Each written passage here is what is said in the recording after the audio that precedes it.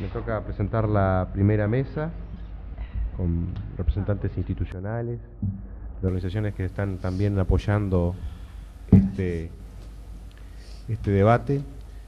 Y bueno, le voy a dar la palabra primero al presidente de Andeu, Rafael Inchausti, para que nos cuente un poco la experiencia de Andeu, que tiene un, documento, una guía para los medios de comunicación sobre este tema. Rafael.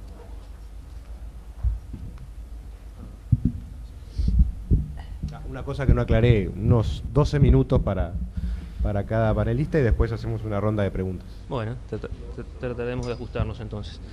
Este, bueno, buen día para todos. Muchas gracias a los organizadores por la invitación a, nuestra asociación a participar en este, en este foro en el que se debate bueno, un tema que, que tiene este, actualidad en este momento, que es el de las las pautas, las conductas que deben seguir los medios de comunicación, los periodistas, este, en el ejercicio de, su labor. En la medida en que me ha tocado dar inicio a las exposiciones del día de hoy, quisiera comenzar compartiendo algunas reflexiones acerca de la comunicación en el mundo en que vivimos. El nuestro es un mundo cruel, eso no es, no es ninguna novedad, todos lo sabemos. ¿no? Em, y tenemos asumido que la violencia y la crueldad han estado presentes a lo largo de, toda la historia de la humanidad y hasta parecen formar parte de nuestra propia naturaleza. Sabemos que ha sido así porque han llegado hasta nosotros los relatos y, representaciones de los acontecimientos históricos más significativos a través de la transmisión oral, la transmisión escrita y también a través de los instrumentos simbólicos, es decir, a través de los instrumentos de comunicación más elementales y también de los más sofisticados que han tenido su alcance en cada momento histórico las distintas organizaciones sociales que habitaron nuestro mundo. De esta forma nos hemos enterado de la ocurrencia de importantes acontecimientos que, por su fuerza transformadora, significaron enormes avances para la civilización, pero también de la ocurrencia de las atrocidades más abominables cometidas por hombres y pueblos enteros contra otros hombres y otros pueblos. De esta forma, si hiciéramos una reseña de las mayores barbaridades cometidas por la humanidad, no deberíamos olvidarnos, por ejemplo, del sometimiento de pueblos enteros durante largos periodos de la historia por parte de naciones imperiales, desde la antigüedad este, y antes todavía, la esclavitud en la mayoría de las sociedades durante gran parte de nuestra historia, la colonización de América, África y vastas regiones de Asia por países europeos, con todas sus consecuencias conocidas como la desaparición de grandes civilizaciones indígenas. La Inquisición de la Iglesia Católica, el genocidio del pueblo armenio, la Primera y la Segunda Guerra Mundial, en la que se utilizaron por primera vez armas de destrucción masiva contra la población civil, incluyendo armas biológicas y las conocidas bombas atómicas. También el genocidio del pueblo judío y de otras minorías raciales como los gitanos durante la Segunda Guerra Mundial, el exterminio, deportaciones y hambrunas de pueblos enteros durante el régimen comunista de, Stalin en la Unión Soviética, el exterminio, deportaciones, eh, perdón, los conflictos armados en varias partes del mundo durante el periodo llamado de la Guerra Fría, como la Guerra de Vietnam, junto con múltiples y constantes conflictos en América Latina, África y Asia entre gobiernos y movimientos insurgentes. Precisamente referido a la, Guerra de Vietnam, se, se conoció Em, bueno, se celebró, se conmemoró hace pocos años, hace poco, poco tiempo, el 40 aniversario de aquella foto famosa de la niña que caminaba desnuda, este, eh, quemada por, por napalm, y bueno, eso, eso fue un acontecimiento que seguramente aceleró el término de esa, de esa guerra tan devastadora.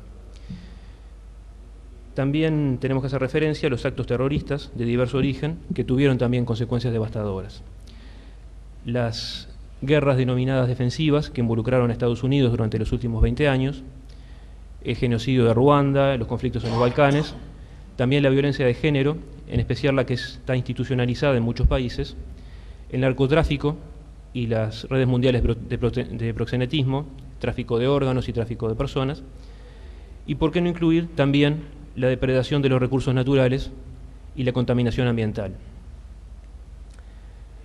Cuando a veces se señala que los medios de comunicación, a través de la información y contenidos de carácter violento, promueven la multiplicación de la, violencia, Es preciso advertir que de las barbaridades anotadas, que recién, recién expresé, las mayores, las más crueles y las más numerosas fueron cometidas antes de que la utilización de los medios de comunicación, incluso de la prensa escrita, adquiriera un carácter, un carácter masivo.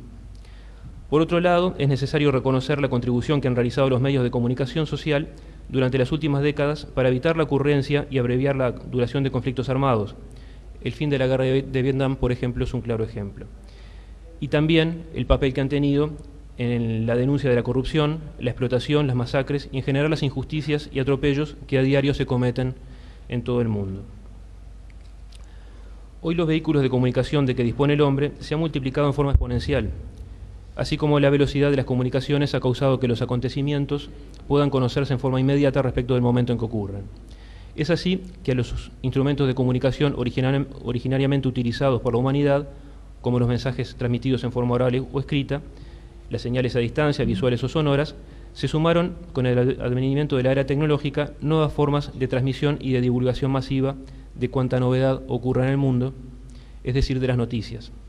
En la actualidad, la información y el conocimiento se transmiten a través de numerosas plataformas de comunicación y se encuentran al alcance de prácticamente cualquier habitante del mundo, la mayor de las veces para recibir, para recibir esa información, pero también en forma creciente para transmitir e interactuar con esa información. La prensa, la telefonía, la radio, la televisión, la internet, también la comunicación satelital, han hecho posible que el mundo se haya transformado en una comunidad. Es cierto que durante el proceso que nos condujo a esta, nueva realidad, los medios de comunicación han sido utilizados a menudo como instrumentos de propaganda, especialmente en los regímenes totalitarios, desvirtuando su verdadera finalidad, y por esa razón es que adquiere fundamental importancia que existan en todos los países medios de comunicación independientes de los gobiernos y externos a las estructuras del Estado, que sean autosustentables y que no dependan de subsidios públicos ni de ingresos publicitarios asignados arbitrariamente. Para ello, los medios de comunicación privados deben ganarse la confianza de las audiencias, ofreciendo contenidos atractivos para los grandes públicos, pero fundamentalmente abordando contenidos informativos de acuerdo con los principios de imparcialidad, veracidad, relevancia y oportunidad. La confianza de las audiencias es el, elemento medular sobre el que reposa la sustentabilidad y el desarrollo de los medios de comunicación privados, en la medida en que el resultado de la elección de una radio o de un canal de televisión que diariamente, hora tras hora, hagan los integrantes de la comunidad a la que sirven, determinará el respaldo publicitario que obtengan de los anunciantes comerciales y, en definitiva, de su éxito como emprendimiento. Me, refiero al éxito no en el sentido de éxito material, sino a la consecución de, las metas objetivos que se hayan trazado. Los medios de comunicación, como vemos, están sometidos a un escrutinio, a una elección diaria, popular, que hace todos los días la, audiencia. Y la forma de salir exitosos de esa elección es ganándose la confianza y la preferencia de las audiencias en base a la seriedad de su trabajo. Justino Jiménez de Arechaga, el reconocido jurista uruguayo, que fue corredactor de la Declaración Universal de Derechos del Hombre de la Organización de Naciones Unidas e integrante de la Comisión Interamericana de Derechos Humanos de la Organización de Estados Americanos, fue también presidente de Andebu entre los años 1961 y 1971, habiendo legado importantísimos aportes a la doctrina de la radiodifusión de toda América desde la década de 1940 a través de su cargo de director general de la entonces Asociación Interamericana de Radiodifusión. Acerca de la radiodifusión y de la obligación de informar con veracidad, expresó en 1967 en el quinto Congreso de la Asociación Brasileña de Radio y Televisión. Es preciso que el radiodifusor adopte todas las precauciones posibles para asegurarse previamente de la exactitud de la noticia tratándose de las que se elaboran en su propia emisora mediante la muy cuidadosa organización de su departamento informativo, de la selección del personal al cual se confía la realización y sobre todo de esas tareas, adoptando las disposiciones necesarias para que en cualquier instante sea posible establecer con claridad si es que una información falsa o maliciosa sale al aire, de quién es la responsabilidad de que tal hecho haya ocurrido. Tratándose de noticias elaboradas fuera de la emisora, ajustándose a la disposición recogida por las leyes de la generalidad de nuestros países, que requiere que las informaciones provengan de agencias responsables, debidamente acreditadas y registradas como tales. La tentación de producir un impacto en la audiencia, de adelantarse en el tiempo de los competidores, de asegurar la primicia, Todo ello debe ceder, si es que queremos prestigiar a la radiodifusión y hacer de ella un medio serio y sano de información popular, ante la necesidad de precavernos contra los daños irreparables que ella puede ocasionar. En el Código Civil de nuestros respectivos países es corriente que se diga que para la realización de ciertos actos se debe exigir, exigir de quien los cumple que quien los cumple actúe con toda la diligencia, las precauciones, los cuidados de un buen padre de familia. Estos cuidados de un buen padre de familia son los que deben ser exigidos de un radiodifusor en el cumplimiento de su deber de informar. Jiménez de Arechaga dejó también en Andeu y en toda la radiodifusión uruguaya y continental numerosas reflexiones acerca de la estrecha vinculación que existe entre la tarea que cumplen los medios de comunicación social y la democracia. Es así que Andeu, en tanto asociación representativa de los emisores radiales y televisivos de todo el país, con más de 170 empresas afiliadas, ha defendido con firmeza, a lo largo de sus más de 79 años, de existencia el derecho a la libertad de expresión y de comunicación como instrumento a través del cual se garantiza el libre ejercicio de los demás derechos fundamentales, cumpliendo de esta forma una función esencial y decisiva dentro de los regímenes democráticos de gobierno. En tal sentido, constituye uno de los postulados fundamentales de Andeu la existencia de una radiodifusión privada, libre e independiente, defensora de la libre expresión del pensamiento, de la variedad de información y pluralidad de opinión que garantice la forma republicana de gobierno y el Estado de Derecho. Este principio tiene como corolario el de que los medios de comunicación deben gozar de libertad de programación. De esta forma, el Código del Radiodifusor de 1970 ya recogía una resolución de la Asamblea General de Andebu sobre este particular que expresa lo siguiente. Andebu repudia toda fórmula que signifique reconocer el derecho de las emisoras, perdón, que signifique desconocer el derecho de las emisoras a ordenar su programación y el derecho del pueblo a que se le ofrezcan los programas de su preferencia, haciendo uso de su libertad de seleccionar los que mejor lo satisfagan, sin restricciones artificiosas o directivas impuestas por actos del poder público. Constituirá el más grave y peligroso precedente todo intento de condicionar el derecho popular de influir sobre la conducción de las emisoras, prestando o negando audiencia a las mismas. Quebrado este principio, será fácil en el futuro introducir nuevas restricciones de cualquier carácter o finalidad que terminen por anular libertades reconocidas por la Constitución y las leyes a los medios de comunicación de masas, cuya labor diaria e independiente representa una de las más firmes garantías de sobrevivencia y fortalecimiento del orden democrático. Los ejemplos que nos ofrecen otros pueblos americanos, en los cuales el avasallamiento de la radio y la televisión se inició por aplicación de métodos similares, deben prevenirnos contra tan peligrosa desviación. Este texto, que reitero es del año 1970, y cualquier similitud entre los acontecimientos referidos en el mismo situaciones actuales eh, es pura coincidencia. El Código del Radiodifusor de 1970 sirvió como antecedente para la elaboración en 1992 de la, de la Declaración de Principios aprobada ese año por la Asamblea General de nuestra asociación, en la que figuran las normas éticas básicas sobre las cuales deben construir su propuesta de comunicación, además de los preceptos elementales sobre los sobre los que los radiodifusores privados entienden que debe articularse el servicio que desempeñan. Acerca de la responsabilidad que compete a los radiodifusores en la divulgación de información y contenidos, el texto expresa lo siguiente.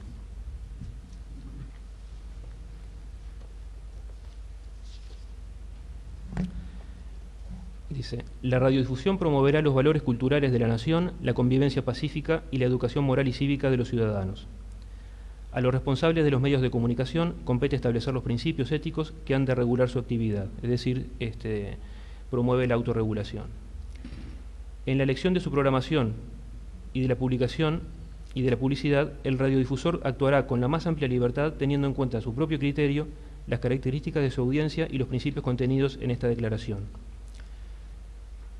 Punto 11 la radiodifusión requiere la más alta responsabilidad y excelencia en su ejercicio y, por lo tanto, al informar e interpretar, ha de ser veraz, ecuánime e imparcial, cuidadosa de las fuentes de sus noticias y respetuosa de la dignidad de sus derechos, de los derechos de las personas, evitando emisiones meramente sensacionalistas o tendientes a satisfacer intereses libidinosos o la curiosidad morbosa. La radiodifusión privada tiene una tradición de respeto al derecho de la privacidad y por tanto solo se justificará la intromisión en la vida privada en casos de interés público.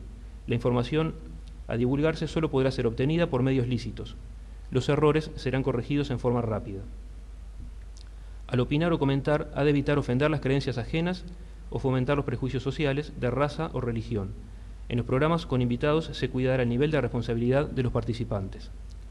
en su función recreativa o de entretenimiento, ha de observar un cuidadoso respeto a la moral y a las buenas costumbres, propendiendo a la promoción de valores positivos en lo cívico, cultural y social.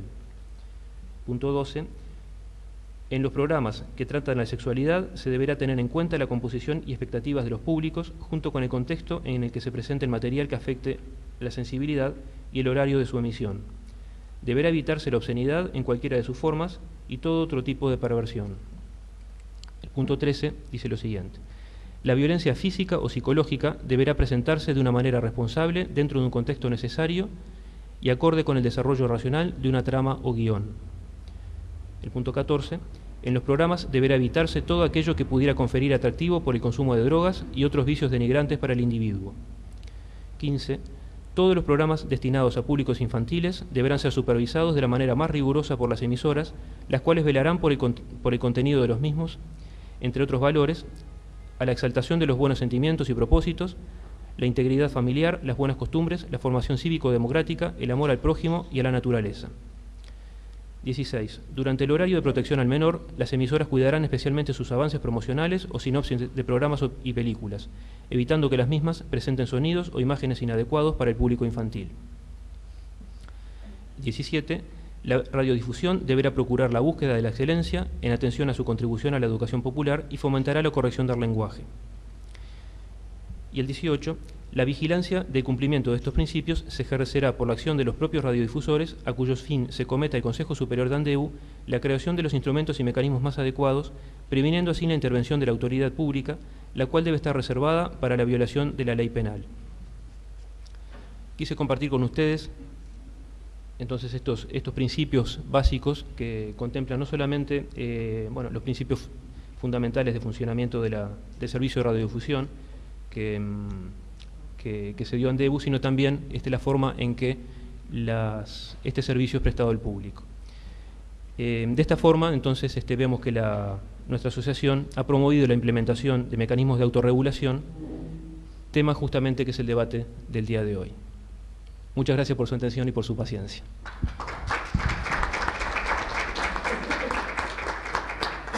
Eh, gracias, Rafael. Bueno, ahora vamos con presidente de la Organización de la Prensa del Interior, periodista de San José, David Rabinovich.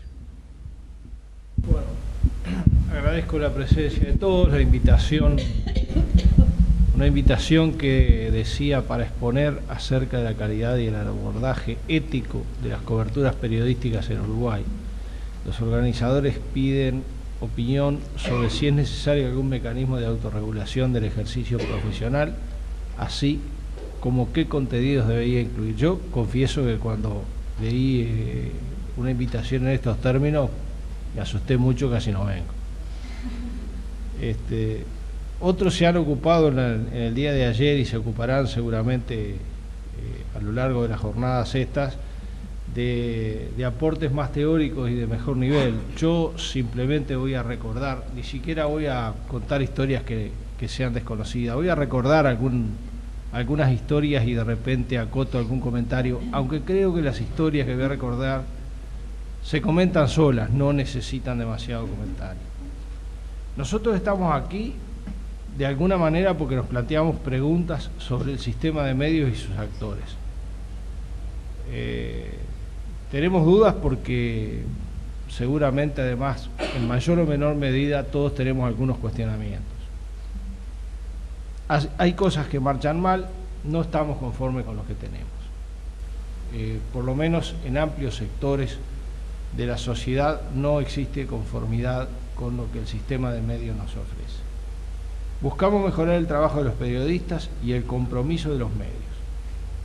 Creo importante tener en cuenta que existe un sistema de medios que más, es más que la suma de los medios. Por eso voy a referirme también a cómo está conformado ese sistema y cómo funciona. No lo voy a hacer en profundidad ni voy a hacer un gran análisis, pero me parece que este es un punto que no hay que perder de vista. Y empiezo con los recuerdos, con los cuentitos.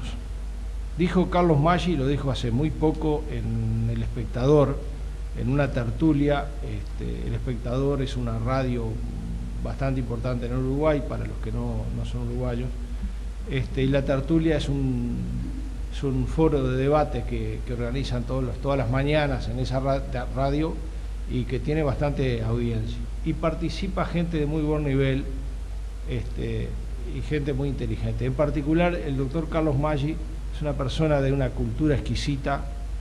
Eh, esta tertulia a la que me quiero referir era con motivo de que Maggi cumplía 90 años. Es un, escritor, es un, además de abogado, es una persona que, realmente este, sabe mucho de cuestiones culturales y sabe mucho de comunicaciones. Leo textual, este, o transcribo, digamos, lo que, lo que dijo Maggi. Yo creí que con la herramienta que tenía en la mano, en especial la TV, se podía hacer una obra fantástica. Pero es muy difícil, porque los intereses privados son muy importantes y los canales oficiales en ninguna parte del mundo pueden levantar cabeza. Dijo también, me fui por la presión de los canales privados. Duró Maggi como director del canal de TV pública 42 días. 42 días duró. Y él dice, me fui por la presión de los canales privados. Esto no sucedió, esta experiencia, este pasaje de Maggi por los canales, por la dirección del SODRE, que es el servicio de, radiodifusión y, maneja el canal, manejaba en aquel momento también el canal, público, sucedió en 1985, a la salida de la dictadura. No es, ese hecho no es un hecho de reciente. El otro pasaje, este, este, eh, Maggi dice en la tertulia, en todos los países pasa lo mismo. La única manera de estar en contacto directo con la gente mucho tiempo y dentro de la casa se hace por la vía de la TV. Y la TV suele ser una escuela para mal tanto o más que una escuela para bien. Estaba también en esa mesa Matilde Rodríguez, este, es conocida en, el Uruguay, esta señora es viuda de, Gutiérrez Ruiz, asesinado en Argentina, un político muy importante uruguayo. La situación, Matilde, Rodríguez eh, dice, la situación actual de la TV privada creo que amerita un análisis desde ese punto de vista, apoyando las palabras de Maggi. En el Uruguay la censura existe, yo creo que es un problema grave y que tiene una historia larga. Voy a, este, referirme a otra breve historia. Esto es textual. Eh, esa mañana, eh, relata la persona que escribe esto, esa mañana temprano, serían las nueve, me llamaron urgente de presidencia para que concurriera al edificio Libertad. Fui lo más rápido que pude. Subí al séptimo piso y en el despacho del presidente estaban sentados alrededor de la mesa Sanguinetti, que en aquel momento era el presidente, Tarigo, Miguel Ángel Semino, secretario de la presidencia, Jorge De Feo, el ingeniero Horacio Scheck del Canal 12 y Walter Nessi, prosecretario de la presidencia. Bueno, al relator le muestran un par de videos, los mira con atención varias veces y después vuelven a la reunión. Y sigue relatando este señor. Sanguinetti me preguntó qué me habían parecido los dos videos que le había mostrado. Y el hombre contesta, el de Sara Méndez me parecía muy efectivo, aunque se pasara durante un único día. El otro no servía de nada. Alguien me preguntó si me parecía que con ese aviso podía triunfar el voto verde. La contestación fue, este aviso puede hacer que gane el voto verde. El doctor Julio María Sanguinetti aprobó, esto también está entre comillas, que no saliera el aviso de Sara Méndez. Lo dijo en tono muy bajo, apenas se oyó. Yo estaba impactado por lo que había presenciado. Un presidente constitucional había prohibido una publicidad de la oposición sin motivo válido alguno. Esto está en un libro que se llama La vida te da sorpresas. El autor del libro es José Luis Guntín, editorial siglo XXI, publicado en abril de 2010. Si alguien no conoce el episodio, los uruguayos lo conocemos bastante bien, se refiere eh, cuando el plebiscito por la ley de caducidad, eh, la madre de Simón, una señora que tenía un hijo desaparecido que lo estaba buscando, un hijo que había sido robado de bebé, ella sobrevive, de las pocas que, en esas circunstancias lograron sobrevivir, y buscaba recuperar a su niño. Este, eh, la Comisión Pro Referéndum hace un video en el que ella pide que, se apoye, este, digamos, su derecho a, poder conocer qué pasó con su hijo. Este, un video que además circuló en el país, no fue transmitido por los canales, pero circuló en el país, eh, vía pasarlo de mano en mano. Y este, el otro video se refería, era una cuestión armada, el episodio que, relataba el otro video este, era la muerte de un peón, Pascasio Báez, a manos del Movimiento de Liberación Nacional. Eh, el segundo video se había armado para contestar al primero, para contrabalancear el primero. Al llegar al acuerdo de que no era efectivo, este, el presidente de aquel momento avala que los canales decidan no transmitir ninguno de los videos. Vengo a cosas de la vida diaria. No hace muchos días estaba en la sala de espera de mi mutualista había un televisor encendido en uno de los, canales de aire nuestro. Seis y cuarto de la tarde. El programa era un programa argentino, dedicado a los chismes de la farándula argentina. Puede que para algunos fuera interesante, pero yo me pregunto, ¿qué importancia tenía aquello? ¿Qué aportaba de positivo al sentido estético o a la información útil de los uruguayos? Realmente este, lo, lo miré porque estaba allí esperando. A las 7 de la tarde, un rato después, empezó el, espacio informativo, un relato cuestionable y cuestionado de la realidad. Se afirma que la gente quiere eso, que se hace así porque a la gente le gusta. Un aforismo cuyo origen, confieso que desconozco, dice, lo esencial es invisible de eso se encarga la prensa. Estamos hablando de un servicio público. Eh, hay que plantearse un servicio público al servicio de qué, de quiénes. Eh, analizarlo desde ese punto de vista. Si compartimos la preocupación por respetar como derecho esencial tener buena información, entretenimiento sano y cultura de calidad, el desafío de la autorregulación suena a exigencia tan severa como necesaria. En estos días se cuestiona con dureza a la educación y a las familias por sus fracasos y por la situación que se supone que hay con la gente joven que, no aprenden, que fracasan en, en la educación, que son un peligro para la sociedad, etcétera, etcétera. Yo me pregunto, ¿los medios no juegan un papel en la construcción de valores o en el proceso de su destrucción, de la destrucción de los valores?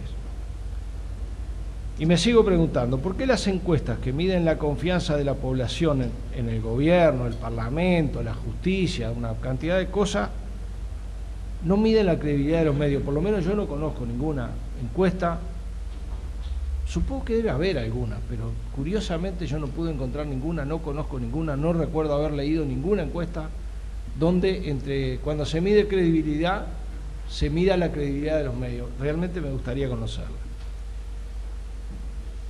Sigo con las pequeñas historias. Leo en la diaria un recuadrito eh, publicado viernes 10 de agosto, bien reciente. El recuadrito tiene como título Mercantilismo. El presidente de Andeu opinó que el gobierno, mediante la imposición de precios y gravámenes a los medios, y acá abro comillas, se está embarcando en un proceso de mercantilización de los medios de comunicación social, contradiciendo el espíritu de la ley de de radiodifusión que establece que son un servicio de interés público.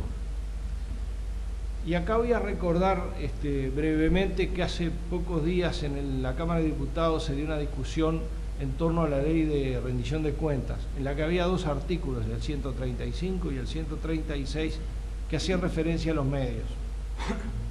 Y en el marco de esa discusión, que no, no, voy a explicar acá, este, el diputado herrerista José Carlos Cardoso dijo, hizo una referencia que me llamó muchísimo la atención dijo, hay un, programa educativo muy bueno, que seguramente cuesta mucha plata armarlo, es, es excelente técnicamente.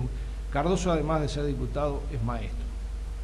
Este, y un maestro que ejerció en el medio rural, que de educación sabe. Ese, ese, ese material, dice, se pasa a las 6 de la mañana. Y yo me quedé pensando aquel día sentado en la mutualista, tenía poco que hacer, tenía que esperar que me atendiera nada más, en lo que había visto, y me acordaba de lo que había dicho Cardoso, digo, ¿por qué a las 6 de la tarde no se pasa este, esto que, se está pasando a las 6 de la mañana y a las 6 de la mañana pasamos esos programas argentinos.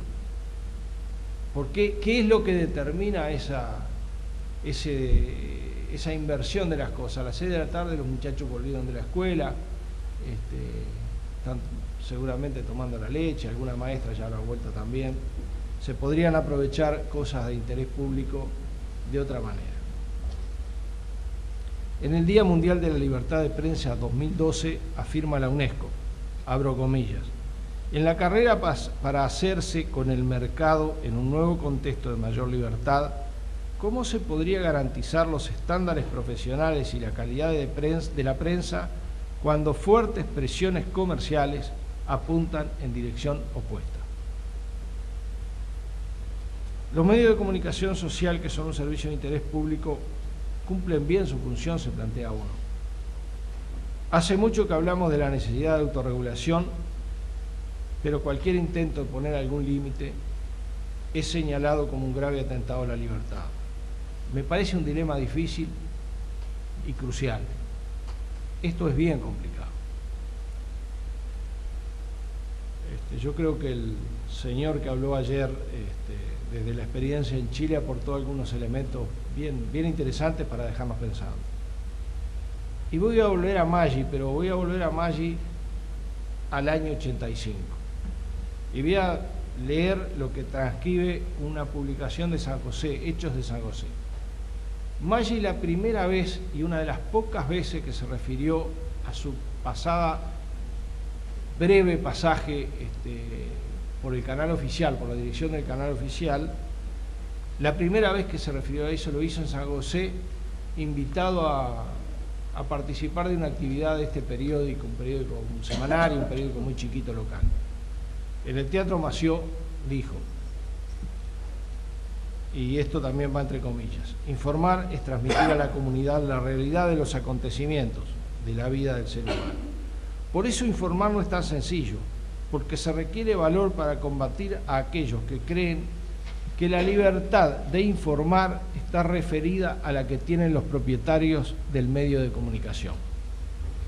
Más adelante, leo de la transcripción, cabe preguntarse cuál puede ser hoy el verdadero valor de las palabras libertad de expresión.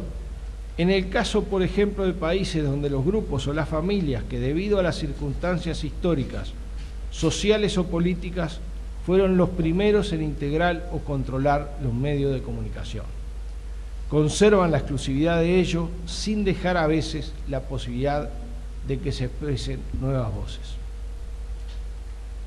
Acá me dicen que me quedan tres minutos, pero este, me sobra tiempo con tres minutos. Joel Rosenberg, Voces, jueves 16 de agosto. La libertad, entre comillas también, la libertad es la que te da la empresa para la que vos laburás. Esa es mi experiencia después de televisión, diario y radio sobre todo en el diario y en la televisión lo viví muy de cerca. Y un poquito más adelante, ahí en ese mismo recuadrito de la diaria, eh, Rosenberg es un periodista conocido uruguayo. Creo que los canales privados están dominados por Tenfield.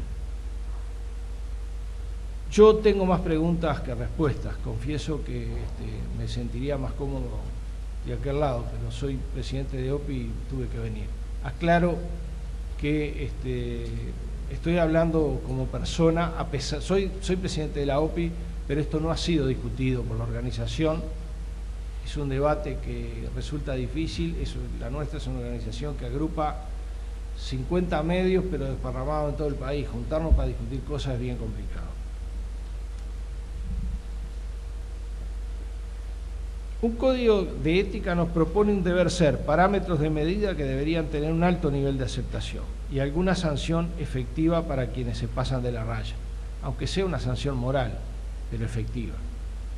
Pero el problema es dónde ponemos la línea, quiénes y cómo se fijan los límites, cómo se controla, quién controla a los controladores. Realmente un tema muy complicado, requiere mucha legitimidad social. Yo estoy de acuerdo con que esto no se puede dejar en manos del gobierno, exclusivamente del gobierno y a discreción del gobierno, de este o de ningún gobierno. La intermediación del periodismo en una sociedad democrática es una responsabilidad y un poder. Como se la practica, lo vemos a diario no estamos conformes y si lo estuviéramos no estaríamos acá discutiendo estas cosas. Yo voy a abreviar, tenía alguna, alguna cosa este, más para decir, pero simplemente este, quiero señalar que, que los grandes medios, los medios de masa, también juegan un papel en, la educación. Este, no dejemos solos la responsabilidad al sistema educativo y no adjudiquemos algunos problemas solamente al mal funcionamiento de las familias. Los medios también aportan lo suyo, para bien o para mal. Yo pienso que en buena parte para mal. Eh, creo, y esto es un poco la base de lo que pienso que puedo aportar, que hay una ética, que es necesario un código de ética para los periodistas, que es necesaria una autorregulación, un acuerdo de autorregulación para los medios, pero tenemos que ver que hay un sistema de medios y que mientras el sistema de medios que tenemos, por lo menos acá en Uruguay, no lo cambiemos sustancialmente, el techo de lo que podemos hacer está muy cerquita, es muy bajito, porque hay un sistema, un núcleo duro, poderoso, hegemónico, y una periferia muy grande de medios más chicos, pobres, dispersos que aportan diversidad, que aportan a la democracia de las comunicaciones y que tienen un serio problema, eso sí tienen un serio problema de supervivencia y de desarrollo en su trabajo. Les voy a obsequiar con mi silencio y gracias.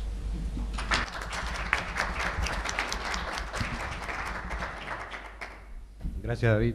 Eh, me quedé pensando una cosa que dijiste sobre el tema de la credibilidad de los medios, si hay encuestas. Eh, hay un trabajo que hace año a año el Latino Barómetro y ubica siempre, en Uruguay la encuesta de los equipos, eh, y en Uruguay los medios de comunicación tienen mejor credibilidad que el Parlamento, que el, bueno, que el gobierno, que los sindicatos, que la Iglesia Católica, está muy bien conceptuado, o sea, para que veas que... Lo cual no deja de ser también un dato muy interesante. Es un dato no menor, por eso. Sí, año a año. Eh, ahora vamos con eh, Lilian Celiberti de Cotidiano Mujer. Bueno, buenos días. Eh, realmente primero agradecer a, las organizaciones que propiciaron este debate, porque en este país necesitamos bastantes más debates y a veces uno también le faltan las energías, sobre todo a las organizaciones de la sociedad civil, que tenemos este, escasos recursos y muchos desafíos, este, y una sociedad democrática sin debate realmente es una sociedad en peligro, eh, por lo menos desde nuestro punto de vista. Así que eh, agradeciendo al grupo Medios y Sociedad, a CAINFO y a la Asociación de la Prensa, por generar esta posibilidad. Eh, también de todos los aportes que escuchamos ayer y que, estamos escuchando hoy, eh, obviamente uno se siente motivado a seguir algunas líneas, pero me voy a ceñir a mi, este, a mi planteo para después entrar en el debate general. Eh, sin embargo, eh, me parece que un punto, un punto clave o, la primera pregunta es si nos estamos planteando la articulación entre ética y calidad, tenemos que preguntarnos a qué calidad estamos refiriéndonos. y entonces, si es a la calidad del debate público, entonces algunos de los ejemplos que aquí este, el presidente de OPI traía son muy significativos. Y ese es un tema que hay que poner en debate. ¿Cuál es la calidad de la programación de los medios audiovisuales en los horarios centrales? están contribuyendo a una sociedad culta, a una sociedad que piensa, a una sociedad crítica, o estamos contribuyendo a la sociedad del espectáculo, del consumismo, de la banalidad. Miremoslo, nosotras hemos hecho como organización feminista varios monitoreos de prensa, en algunos momentos de medios en general, no solo de prensa, de medios, este, mm, mirando cómo están representadas las mujeres, cuál es la imagen, qué es lo que transmiten los medios sobre la sociedad, a quién le hablan, qué buscan, porque detrás de una, este, de una cola mostrada en televisión hay un mensaje, no es neutro, hay una búsqueda, hay una búsqueda de rating, hay una búsqueda de sensacionalismo y hay una búsqueda de espectacularidad, de espectacularizar la vida. Quiero empezar con una reflexión que hacía Norbert Lechner, este, chileno precisamente, bueno, alemán chileno, eh, que decía que uno de los efectos este, más graves de la globalización es la pérdida de los mapas cognitivos, aquellos que nos permitían interpretar el mundo y ordenar la información. Hoy por hoy los procesos políticos se asemejan a un viaje a la deriva, sin mapas y sin brújulas. Y en esto, sin duda, que el desarrollo tecnológico de la comunicación ha contribuido, como decía eh, Rafael al principio, este, no podemos menos que sentirnos impactados cuando frente a un televisor vemos el bombardeo de una ciudad. ¿O acaso no nos sucede nada? Como seres humanos, algo tenemos, algo cambia en nuestra subjetividad o no nos pasa nada. Cuando hemos visto dentro de esa espectacularización de la noticia, y claro que perdemos los mapas cognitivos, porque no sabemos a dónde estamos, en qué mundo estamos, cuál es el futuro de esta cultura humana que hemos contribuido o en la que estamos insertos. Cuando el porcentaje mayor de lo que asistimos es violencia, violencia de unos sobre otros, violencia racista, violencia clasista, violencia sexista. Entonces es difícil no perder el mapa de cuál es el perspectivo. ¿Cómo puedo imaginar? Este, también decía Lechner, este, hablando de la sociedad chilena en, el 2000, este, en el informe de desarrollo humano de Chile, este, que lo que había en Chile en ese momento era el bloqueo de los sueños, es decir, la posibilidad de pensar otro mundo, de pensar y construir a partir de tres miedos significativos, el miedo al otro, el miedo al sinsentido este, y el miedo a la exclusión. Y esto este, daría para mucho, eh, pero no me voy a detener en ellos. Los medios no afectan únicamente a la esfera pública, sino que tienen eh, una significación en la esfera privada. Y tal vez esta expansión eh, de, las, de las comunicaciones que contribuye al desarrollo de la globalización como hoy la conocemos, es, diluye justamente las fronteras entre el espacio público y el espacio privado, porque permanentemente estamos en el espacio público a través de los medios y particularmente del Internet, este, etc. Nuestras conductas de consumo, nuestras conductas de ocio, nuestros tiempos libres, se ven influidos también por los medios, por los mensajes publicitarios, los usos sociales, las modas, etcétera. Y los antiguos agentes de socialización, como la familia, la escuela, palidecen hasta en frente a esta cautivadora imagen de los medios audiovisuales. Por lo tanto, hay también un potencial transformador que los medios podrían utilizar en la búsqueda de eh, la conquista de un debate público de calidad y de una eh, presencia plural y diversa de una sociedad que busca sus sentidos de pertenencia. La conquista de la libertad de prensa se planteó como una gran conquista frente al Estado para proteger a los ciudadanos y es muy interesante ver el debate en Estados Unidos que fue uno de los paladines de la libertad de prensa. Y acá quiero referirme justamente a un, em, eh, a un, teórico de la libertad de prensa este, norteamericana, Owen Fis, este, que señala un aspecto que me parece muy significativo a los efectos de este debate. Él dice, durante el siglo XIX, la libertad de prensa, la consigna de libertad de prensa, el concepto de libertad de prensa, este, generó la, eh, la, unión de los liberales frente a otros sectores en el debate este, sobre qué tipo de sociedad y qué tipo de democracia, eh, eh, al menos en Estados Unidos y era la defensa de los derechos individuales frente al Estado al que había que limitar.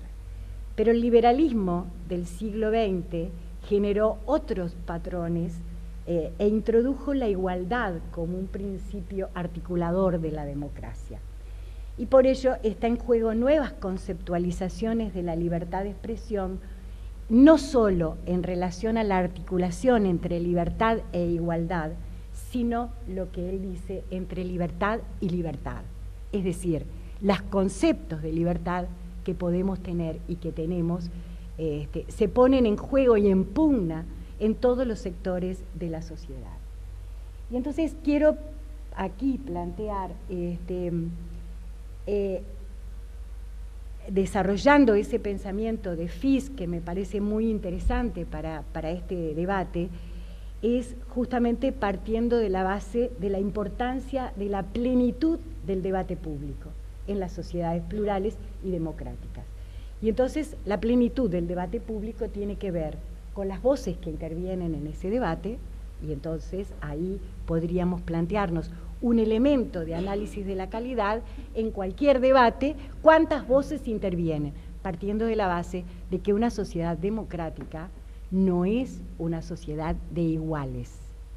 Y que entonces la igualdad es una lucha permanente de los actores por adquirir voz en la opinión pública, en definir la agenda pública, en contribuir y desarrollar, con mayorías y minorías, sin duda, pero contribuir en ese debate público. Entonces ahí tenemos las voces que intervienen en ese debate que miden la calidad o no de un debate. Entonces, si solo participan actores institucionales y del sistema del establishment político y económico, evidentemente es un debate restringido para la ciudadanía en su conjunto. Y entonces, ¿cómo se juega este, esta, la pluralidad y la diversidad en la construcción del debate público? Y cuáles son, este, cómo la autorregulación de los medios y los códigos intervienen en un diálogo con los nuevos desafíos de las sociedades plurales y con la emergencia de otros actores. Porque una cosa es tener un principio eh, en contra de la discriminación racial y otra cosa es que existan actores organizados que disputan el concepto de racialidad este, imbuidos en una cultura hegemónica.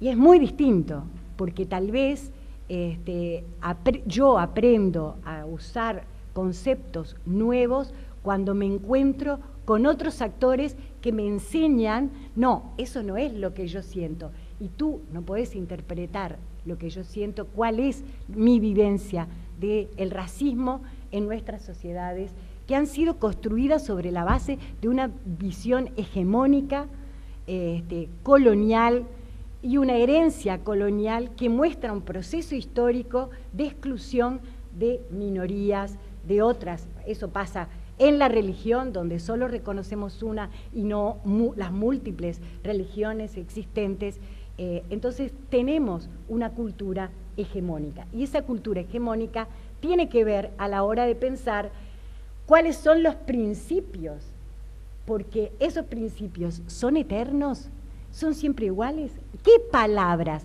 Y, quiero tomar un ejemplo muy claro, este, cuando Rafael leía este, que había que identificar eh, como un principio este, a, los medios, ¿no? Eh, en términos de tener un cuidado este, de un bien como, como un padre de familia, para nosotras, mujeres, el concepto de familia, el concepto de buen padre, el concepto y el concepto de cuidado es un tema de debate.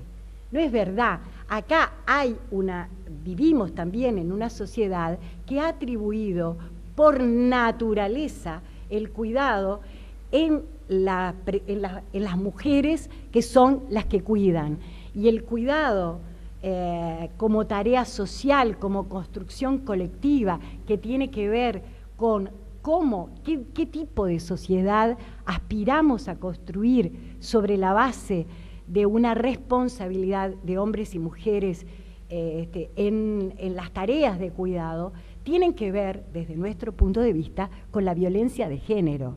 Porque si hay tantos hombres que matan a las mujeres, tantos hombres que castigan a diario a sus mujeres en las relaciones, en las relaciones afectivas, en las relaciones personales, en las relaciones de familia, no podemos seguir hablando de la familia como un ente neutro, como la base de la sociedad en la que queremos construir, porque es una base pervertida, es una base de violencia, es una base de tortura cotidiana para miles y miles de mujeres en nuestro país también. Entonces, cuando hablamos de violencia de género, no es solo sacar la noticia, es poder analizar cuál es el sistema de poder que construye la posibilidad, porque ese hombre no es un enfermo, no es un, enfermo aislado, no es un, ser patológico, es parte de una relación de poder construida en la sociedad y repetida culturalmente, donde los sistemas educativos, los medios de comunicación contribuyen a repetir los patrones de género que construyen desigualdad, es decir, hombres eh, que están en lo público, mujeres que están en lo privado. Y en realidad, si queremos cambiar esta sociedad, tenemos que educar varones que cuiden, que formen parte de una nueva cultura eh, de, de relación humana, de responsabilidad frente a los hijos, de responsabilidad en el cuidado de la casa, etc. Entonces, si, empezáramos a desarmar este, lo que nosotras hemos llamado la ética del cuidado como un parámetro fundamental en la construcción de nuevas éticas sociales que hacen a la vida en común. Entonces, no podemos seguir hablando de la violencia, de la cantidad de muertas que llevamos en el año como un índice numérico si no nos cuestionamos profundamente qué pasa en una sociedad para que tantas mujeres mueran cotidianamente y o sean agredidas cotidianamente. Y entonces como la violencia forma parte de no, no, no es algo que esté afuera, también la forma en que se trata la violencia este, es un elemento eh, fundamental para deconstruir o construir esos nuevos mapas cognitivos que necesitamos. Entonces, esta, lo, que estoy proponiendo acá, por supuesto que me parece central los códigos de autorregulación, este, pero me parece central más aún la posibilidad del diálogo social de los medios con los diferentes actores, porque es ahí donde aprendemos, tuvimos una riquísima experiencia en el Comité Técnico Asesor durante cuatro meses debatiendo sobre los principios reguladores o, principios que podían este, ser parte de una, de una nueva ley de servicios audiovisuales y aún en la discrepancia o en la diferencia, si llegábamos a la comprensión, las discrepancias aparecían en tres o, cuatro puntos que por supuesto son muy centrales.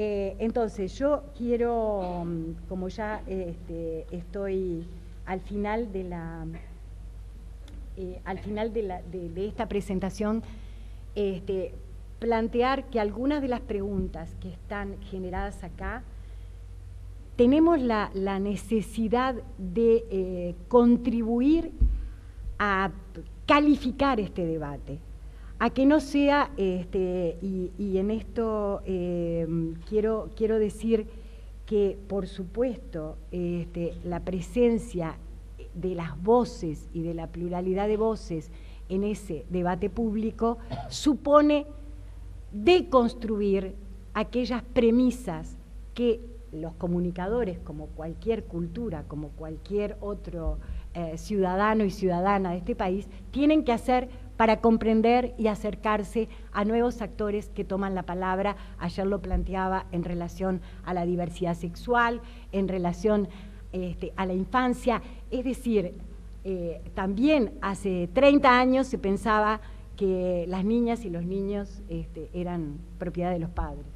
Y, de alguna manera el ser sujetos de derechos, incluso con la propia eh, conceptualización de plantear niñas y niños y no menores, etcétera, etcétera, terminaban en, calificar un debate en el cual cada uno de nosotros también tenemos que aprender cada día a cómo referirnos, porque nombrar también es una forma de discriminar, porque la forma en que describo a la sociedad en la que vivo permite reconstruir o abrir espacios para dar cabida a la multiplicidad de sujetos. Un mundo habitable es un mundo de derechos para todas y todos. Y eso no se puede hacer si no rompemos algunas premisas que pensamos que son universales y en realidad son pautas de poder que se aplican al conjunto de la población. Gracias. Gracias Lilian. Bueno, ahora para cerrar esta mesa, eh, Diego Sempol del colectivo Ovejas Negras.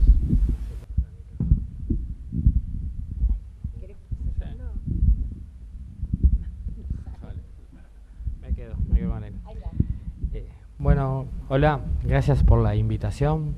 Este, yo estaba pensando ¿no? ahora cómo Uruguay ha perdido este, la reflexión o el pensamiento crítico, ¿no? Y cómo ha cambiado esta idea del pensamiento crítico. O sea, los uruguayos y uruguayas en ciertos momentos de nuestra historia tuvimos como mucha capacidad de reflexión sobre lo que nos pasaba, ¿no?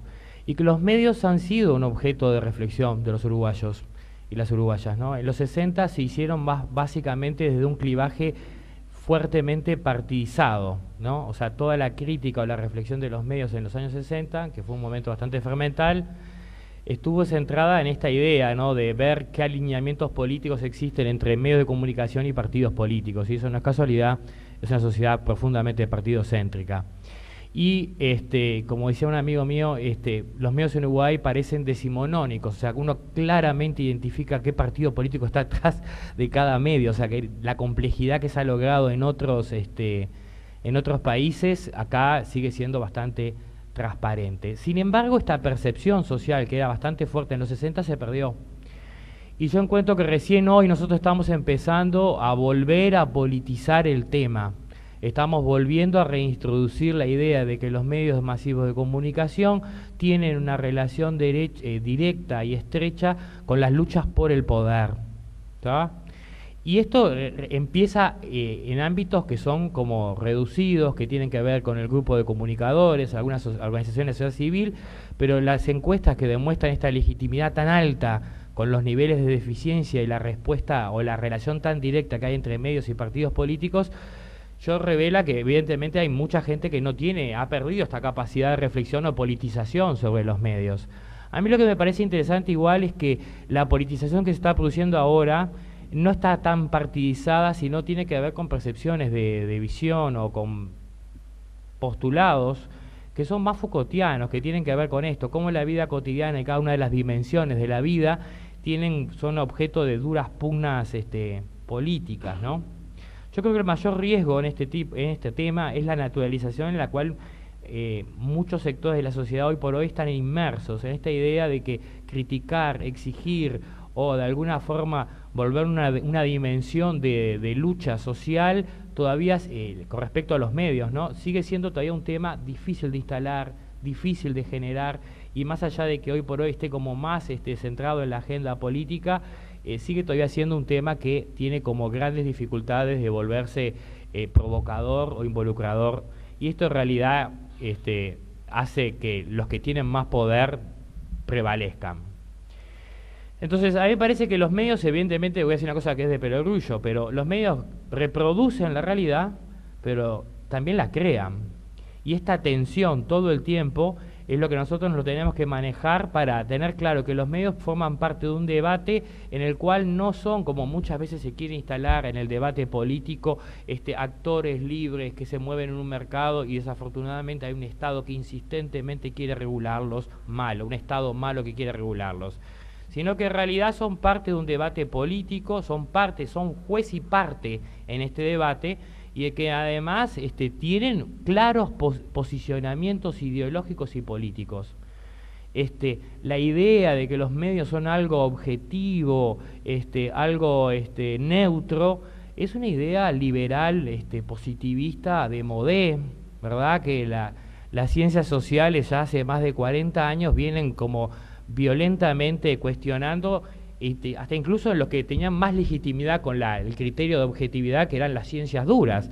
O sea que ya, si, en el terreno de las ciencias sociales ni siquiera le damos la, la credibilidad de objetividad a ciencias duras, vamos a dársela de los medios. Sin embargo, en el debate político uno todo el tiempo ve que parece ser que los actores cuando se posicionan hablan nosotros somos este, neutrales, nosotros en realidad queremos ejercer la libertad de expresión y hay actores este, que de alguna forma quieren limitarnos esto. Este, Rafael planteaba ¿no? toda esta cuestión de la Guerra Fría y todos los debates que de alguna forma la Guerra Fría y todas esas, fuertes, este, esos fuertes enfrentamientos militares generaron, o el impacto que generaron a nivel de, de, los medios y la cobertura. Yo pensaba, ¿no? Todas las guerras silenciosas que los medios no cubren, porque desde los 60 estamos instalados en que la, dimensión de la cultura es un espacio de emancipación, es un espacio de profunda lucha este, social y entonces los elementos culturales son sustantivos. ¿En qué medida los medios se han vuelto cómplices de visiones o refuerzan o alientan deliberadamente visiones hegemónicas en estas guerras silenciosas que hay a nivel cultural en, en todas las sociedades? Y de alguna forma esto se ve y se plasma en qué cosa. Lo uno lo ve claramente en la construcción de la agenda. ¿Cómo se construye la agenda de los medios en cada país? Acá en el Uruguay. ¿Quién define cuáles son los temas relevantes? Las coberturas. ¿Qué tipo de cobertura hago yo? Si es una mujer, hago una cosa testimonial. Si es un hombre, hago una cosa política. Ya en realidad estoy manchando claramente con mis visiones ideológicas, con mis presunciones sobre lo que debe ser la realidad, y ahí precisamente los medios construyen realidad, de alguna forma estoy pautando claramente el debate en un sentido, o la cobertura, o la noticia, o también lo que tiene que ver, por ejemplo, con el uso de las palabras. Las palabras no son neutrales, el lenguaje debe ser una de las cosas más políticas que existen. Entonces, yo del momento que elijo llamar a una manifestación, escrache, marcha, este, o este, o, o revuelta, estoy dándole contenidos este, semánticos totalmente diferentes, posicionándolos en un campo político totalmente diferente, y uno siempre ve con claridad que hay cierto tipo de protesta social que es sistemáticamente criminalizada y otra no, y uno no puede decir que esto tiene que ver con que los periodistas en realidad están obedeciendo al parte policial. No, es como que los argumentos a veces eh, suenan ingenuos realmente las defensas, es como tapar el sol con un dedo, ¿no? Y seguir tratando de debatir todo el tiempo como si lo que hacen los medios está por fuera de lo político en el sentido más amplio, más Foucaultiano, no solo partidario, sino político en un sentido más profundo y como a su vez como no fueran juez y parte, no fueran un actor político más dentro de los procesos de construcción colectiva en la que estamos insertos. Entonces yo cada vez que hay un debate sobre pensar regulaciones sobre los medios, veo que siempre el caballito de batalla eterno es la libertad de expresión, la libertad de expresión. Y esta es una forma muy inteligente políticamente de escapar al debate de fondo, que es empezar a pensar cuál es la partidización y la politización que tienen los medios. O sea, los medios no solo son actores independientes y autónomos, responden a profundos intereses corporativos, ideológicos y a grupos de poder. O sea, no es muy difícil en el caso de Uruguay, que es un país muy pequeño, establecer las relaciones que existen entre el Opus Dei y algunos medios, o entre el Partido Nacional y algunos medios. O sea, hay trabajos muy buenos en donde se rastrean cómo, quiénes son los dueños de los medios, estos monopolios fuertísimos, cuáles son estas familias. O sea que, ¿por qué eso nunca se traduce al momento del debate? ¿Por qué nunca se visualiza con toda la concreción? Y entonces yo creo que me parece que está bueno empezar a pensar el debate desde ese lugar, empezar a asumir la politización que tiene el propio medio en toda esta cuestión. Con respecto a, la, a esto ¿no? de las regulaciones, es, todo el tiempo el medio plantea que está defendiendo la libertad de expresión, pero nunca hace este, mea culpa de que cuando le aprieta el zapato es el primero en violar la libertad de expresión. Y esa es la paradoja en la que estamos insertos hoy por hoy en este debate político. Los medios hablan de que yo quiero garantizar la libertad de expresión, pero censuran un video de, Sara porque en realidad políticamente no es conveniente. Censuran un video de, una, campaña contra la discriminación como fue Un beso es un beso porque de alguna forma violentaba sus criterios estéticos.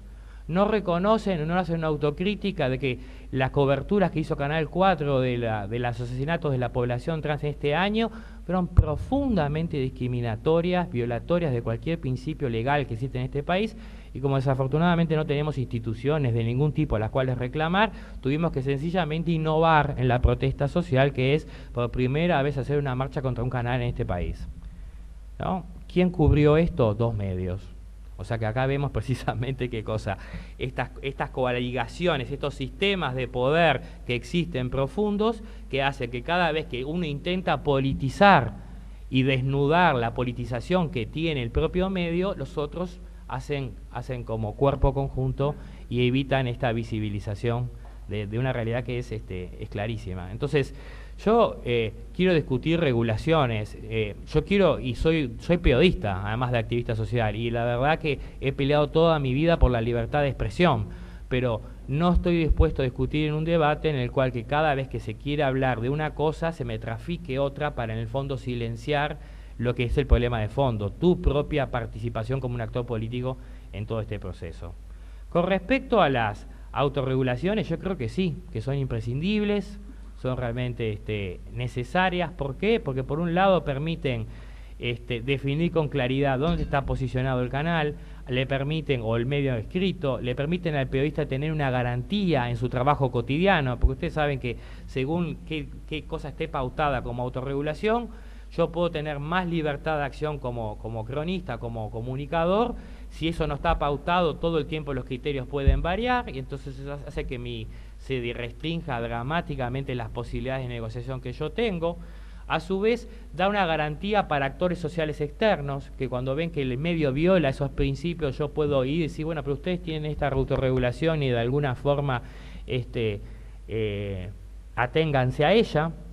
Y además también garantiza otra cuestión, que tiene que ver que este pretexto de que los comunicadores no estaban enterados, ¿no? que también es otra de las del nuevo formato, yo no sabía que había que usar esta palabra o no estaba enterado de esto, este, que también es una realidad, ¿no? Hay muchos comunicadores que tienen una muy mala formación, esto es real, en Uruguay hay mucha, este, está muy, muy, muy, a veces muy mal paga la tarea y eso genera multiempleo y genera que muchos comunicadores no tengan buena formación.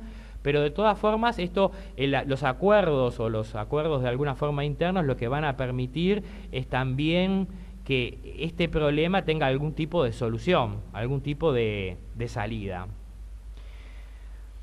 A mí siempre me, gusta no pensar que las autorregulaciones son procesos de construcción colectivas, más allá de que, según cómo tenga esté organizado el medio, pueden ser, terminar siendo también una forma de imposición.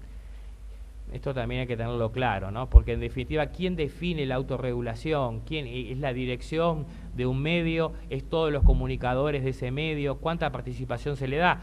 Que eso también a veces este, nos puede vender la falsa promesa de como ciertas garantías cuando en realidad a veces se transforma en un documentito de dos hojas lleno de principios generales que no dicen mucho y nada y que en realidad en los hechos van a ser básicamente este, interpretados de una forma muy diferente.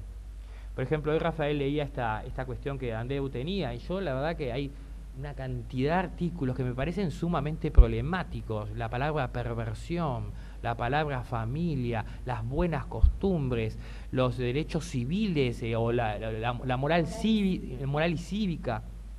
Yo confieso que realmente eh, me gustaría poder participar de eso, porque la verdad que me parece que esos mecanismos de regulación para mí son muy problemáticos, ¿no? Más allá de que Andebu tiene todo el derecho del mundo de establecer los criterios que quiera, pero me parece que en la medida que eso sean objeto de debate, a mí me parece que todos vamos a poder saber claro qué es lo que están regulando, qué, cuáles son los marcos interpretativos de los cuales parten para la acción comunicacional.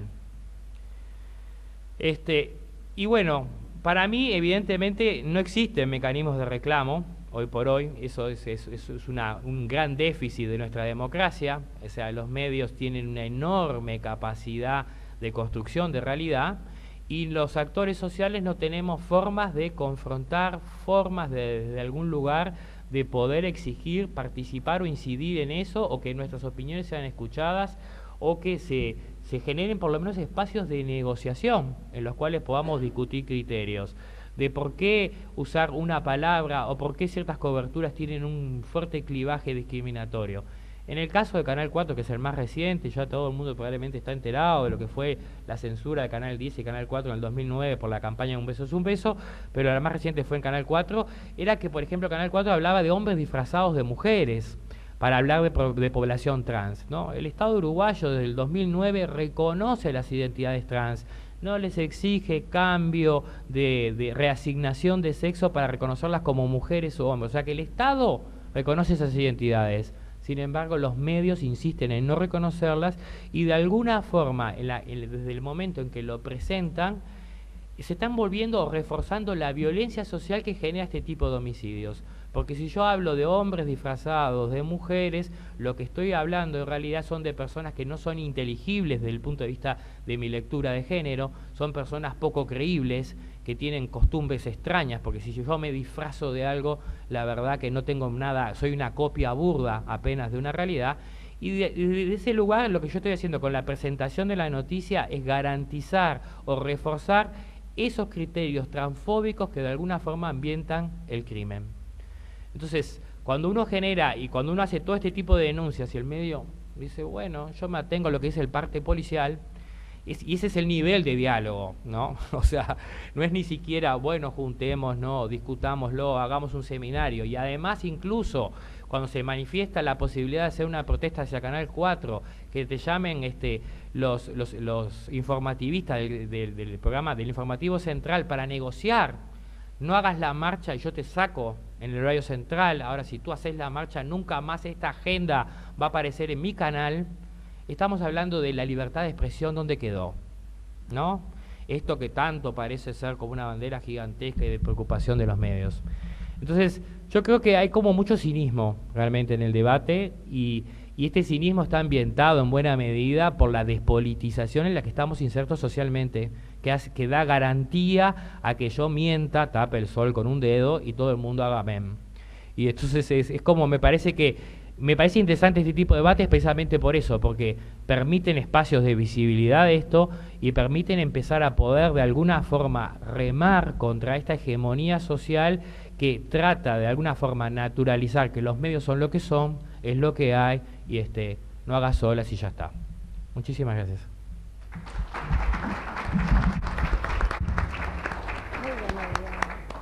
Muy bien, gracias Diego.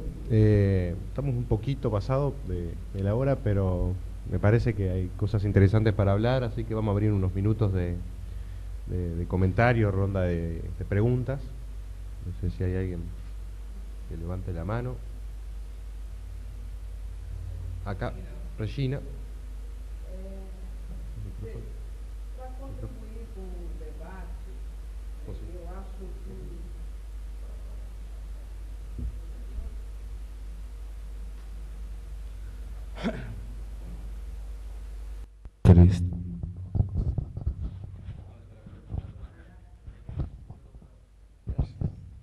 É, Para quiser contribuir, que eu acho que ainda ontem eu falava que é importante, né, abrir esse processo de debate permanente, onde essas questões elas começam a aflorar. Então, eu, eu acho, até porque, por experiência lá no Brasil, toda vez que se discute qualquer, é, tanto de regulação como o processo de autorregulação, nós estamos com dois grandes desafios, né, que eu considero um que é de ordem conceitual e, e é, de legislação mesmo, daí falar-se ou em lei, ou em códigos, em diversos mecanismos, e de definição. Né? Acho que foi o, o é David, é isso? Foi você que falou. Então, quando você está discutindo essa questão da, do ponto de vista conceitual e de legislação, é fundamental isso sim que você falou, de verificar o sistema de comunicação que vigora no país. Para você ter uma ideia, é, mesmo com a criação de uma empresa Brasil de comunicação, que é, congrega os veículos públicos de comunicação, mas ainda assim nós temos sérios problemas lá no Brasil. Por quê? Porque é um, um, sistema público que ele, tanto que à época, quando a EBC, a empresa foi criada, ela era chamada da TV do Lula, né, que foi no período da, do governo do Lula, e por quê? Por uma reação muito grande dos veículos públicos, é, perdão, os, os, veículos privados, porque era uma reação, né, uma reação a um poder historicamente né, da comunicação privada lá. E significaria, até hoje, se diz, aí acusa-se os, os veículos de não terem audiência, é, que não tratam né, da, daquilo que eles se propõem. Então, eu acho que é fundamental. Nós, até hoje, não conseguimos aprovar um conselho de comunicação que foi definido numa Conferência Nacional de Comunicação e nem um novo marco regulatório para a comunicação no Brasil. Então, para você ver, então esse é um, um, desafio muito grande que eu acho que é, é, importante que se tenha isso sempre em mente nesse nesse processo de discussão. Um outro e aí vai o que a é, Lilian, é essa a pronúncia, Lilian, que a Lilian é, falou. Eu acho que aí é, você traz o conceitual e o, o digamos, de regulação para o que eu chamo da, da prática, que é o campo pragmático. Né? Nós até definimos conceitualmente, é, conceitualmente a comunicação pública lá no Brasil, mas nós temos um sério problema de aplicabilidade. E a aplicabilidade, ela passa exatamente por aquilo que, que você falou. Aonde está a questão? Não é de inclusão e nem de exclusão né, dos segmentos sociais, mas é da forma de representação como se está hoje. E aí você, aí eu trago uma, uma discussão que depois se pode aprofundar mais, que é o que eu considero da transversalidade dos conteúdos que são veiculados. Por que transversalidade? Até para citar um exemplo, quando o movimento das mulheres lá no Brasil, quando eles vêm e dizem assim, nós não participamos, nós não nos vemos na televisão. Não se trata de espaço, mas se trata da maneira como aquele movimento é representado ao longo da programação. E isso é um problema sério. É um problema sério, que aí é de uma ordem que eu digo que é ordem simbólica, que é a, a chamada violência simbólica que os meios de comunicação reproduzem.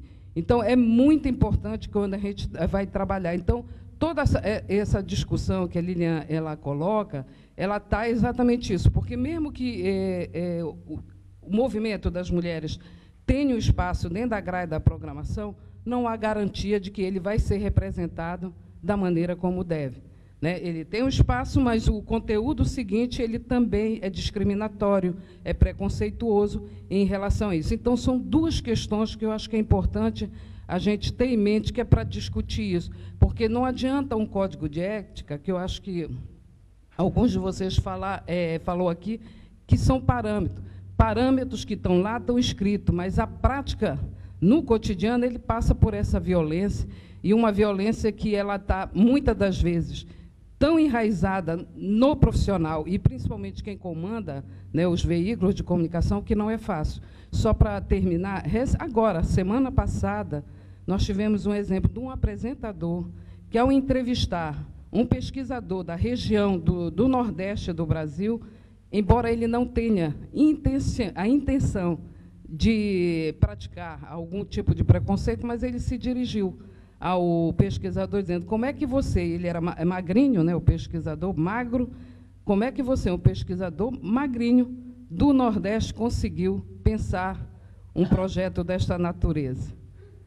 Óbvio que isso bateu na ouvidoria, porque é a, e aí a gente para explicar para o apresentador, porque todo mundo dizia assim, não, mas ele foi, ele sofreu na ditadura, ele foi sim. O fato de ele ter sofrido na ditadura não significa que ele precisa ser preconceituoso, mas é você mostrar como através de determinada postura, né, no conteúdo de uma programação, ele reproduz as ideologias dominantes que estão aí e é quando você reforça. Então, são duas questões que eu acho que é importante para a gente pensar e discutir. Paula. Sí, eh, no, a mí realmente me, parece súper debate, las contribuciones. Pensaba también que esto, ¿no? cuando hoy Liliana hablaba de, la necesidad de calificar los debates y la diversidad de, voces, realmente las, la mesa ¿no? y la riqueza de los, puntos de vista este, distintos, bueno, nada, creo que o colocar tres cuestiones. Eh, una, insistir... ¿Se escucha, no? No, insistir en el tema de que no restringen libertades, sino que las hacen posibles. Esa es la historia de las sociedades democráticas, de las eh, y hay una construcción que es, que es conceptual ser un problema de batería. Ah.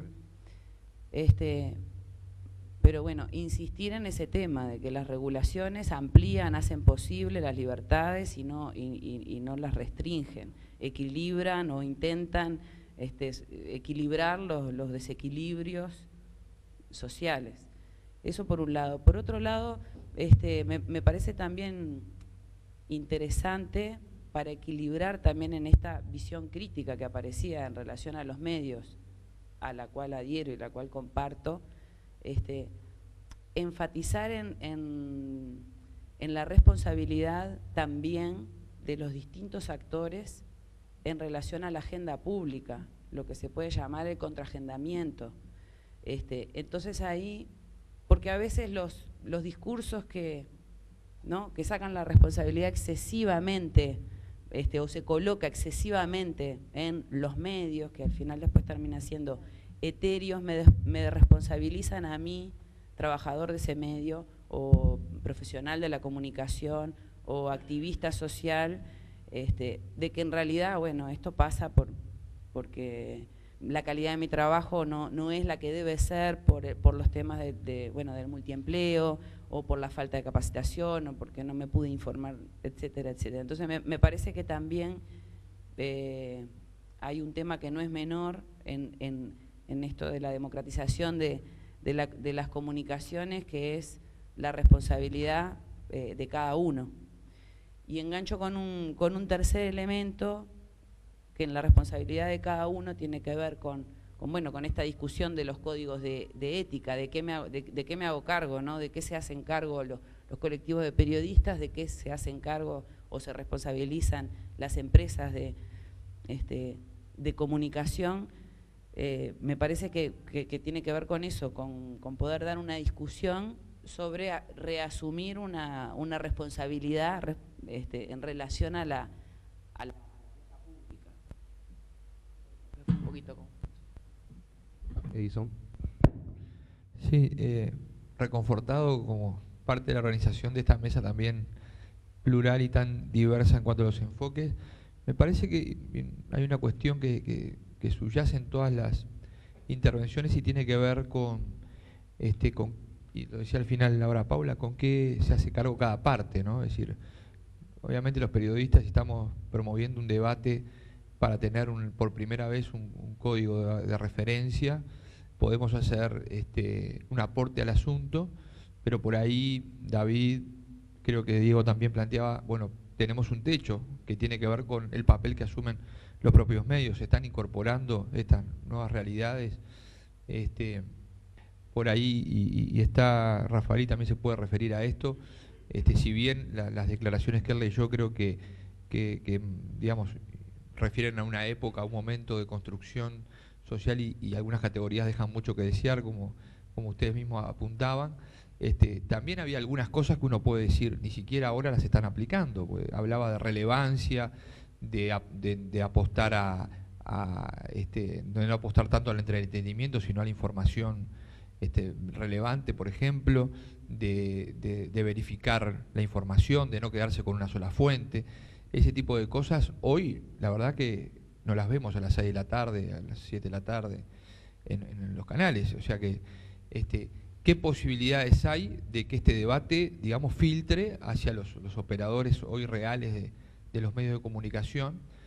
Y finalmente, si en esta, en esta cuestión de, digamos, de cómo incorporar nuevos estándares y estas nuevas construcciones a, los medios de comunicación, al debate público, este, no nos hacen ver que, en definitiva, la figura de un mediador, de un ombudsman, en fin, de algo que se está discutiendo hoy en el país, no, no sería un facilitador para que este, eh, realmente no nos quedáramos siempre en esta cuestión este, de, lamento este, eh, histórico que tenemos los, que trabajamos en temas de comunicación y, realmente esto tiene la intención de empezar a cambiar las cosas, decir, bueno, vamos, vamos, vamos a, hacer una versión autocrítica. También una, última referencia y es que estuvimos relevando varios códigos de ética para que nos, nos sirvan de insumo para esto. Y la verdad que, si bien como decía ayer Guilherme, la rueda no hay que reinventarla, este, no hay muchas referencias en los códigos este, a, diversidad, a transversalidad, a género, así que ahí también nos pueden dar una buena mano porque la verdad que si uno revisa los principales temas que abordan este tipo de códigos, bueno, hablan de veracidad, de fuentes, de trabajo profesional, de, honor, pero no, no, de estos últimos temas que ustedes hablaron, no. Lilian. No, yo eh, en relación a, a, cuáles son los límites y por qué entiendo que un ombudsman o una institución es necesaria, en la misma línea que decía Rabinovich y que me parece interesante, quiero plantear un caso concreto. Caso concreto pasó en el 2007 en el programa Código País, que tiene una este, importante credibilidad este, dentro de la credibilidad general de la profesionalidad con la que se trabaja. Yo me pregunto, ¿qué, ¿cuál profesionalidad hace factible que en el último programa del año ese programa invite a un ser absolutamente secundario en la vida del país, un militar torturador, secuestrador, etcétera, a hablar en el programa, en el último programa del año, y no habilite a las víctimas a contestarle. Entonces, cuando hablamos de calidad mínima, ética, si es que existe, ahí yo digo, alguien le obligó a Ladra, a este. Mm, Aldo Silva, a este, el otro, que ahora no me acuerdo, Lesa, ¿quién le obligó a ellos a violar tan flagrantemente la mínima ética periodística? Ya no estoy hablando de ningún otro principio, que es porque además estamos hablando de Eduardo Ferro, que todo el mundo sabe que además de, además de torturador y de secuestrador, es un simple delincuente digo, en otros, en otros extorsionistas, etcétera. Entonces, digo, realmente, te viene el cuestionamiento y nosotros fuimos, este, no se habilitó, era el último programa del año, entonces Código País no estaba más, etcétera, y no teníamos ni tampoco recibimos los apoyos suficientes como para hacer una protesta formal, porque no tenés a dónde ir, a decir, ¿qué es esto? O sea, eh, en realidad, este, ahí no era nada sutil. Se le dio la palabra durante 20 minutos este, a un ser investigado por la justicia que, bueno, obviamente no se le hará nunca, no, no, no llegará, pero en todo caso me parece que habilitarle los micrófonos sin habilitar el debate me parece que va en contra de la calidad. A esos, esos son los ejemplos tal vez que él traía que dice, bueno, pongamos en, discusión la necesidad de mecanismos regulatorios o autorregulatorios, pero también de control, porque si hay un, código y nadie controla su aplicación, es lo mismo que la nada. Ya la última.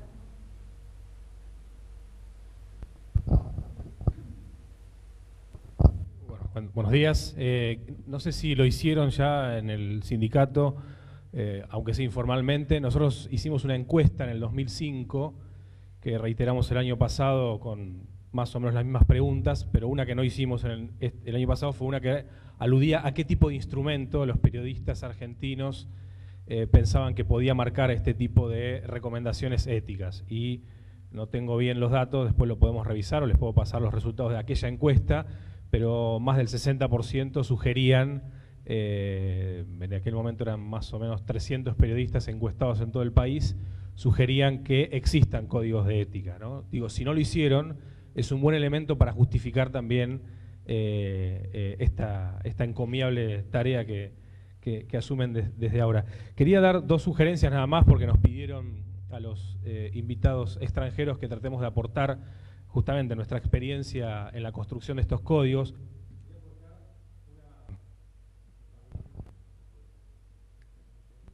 Hola, hola, ahí está. Quería aportar eh, con respecto al tema de la objetividad una sugerencia que planteaba eh, antes Diego.